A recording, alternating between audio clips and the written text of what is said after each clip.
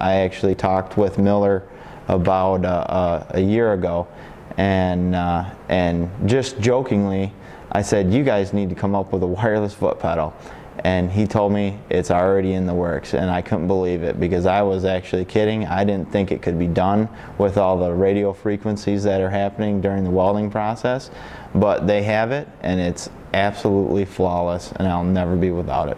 I'll use my foot. I want all the control. I don't want a machine to do anything for me. I want all the control of what's happening with that puddle. When I got it, I was really concerned about its accuracy, to tell you the truth, uh, of how sensitive it would be because I'm, uh, I'm the type of TIG welder that I rock my foot a lot um, to, to control how much heat's going into the part and manipulation of the weld puddle.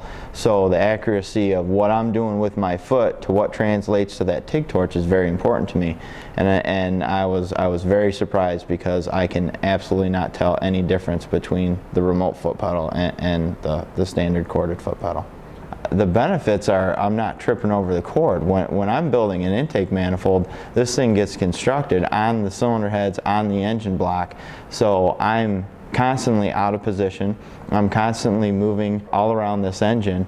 Anything with a cord, I'm tripping over it, it's getting tangled, it drives me absolutely crazy. And it's just constantly getting tangled around your workpiece, uh, and, and I found it's getting tangled around uh, the, the TIG torch lines. Um, obviously those can't be cordless, that would be wonderful if they could, but, uh, but yeah, the, the remote foot pedal is awesome.